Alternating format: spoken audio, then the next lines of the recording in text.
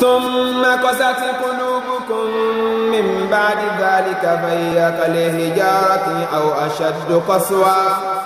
وإنا من الهجارة لما يتفجر منه الأنهار. وإنا منها لما يشقق فيخرج منه الماء. وإنا منها لما يهبط من خشية الله. وما الله بغافل عما تعملون.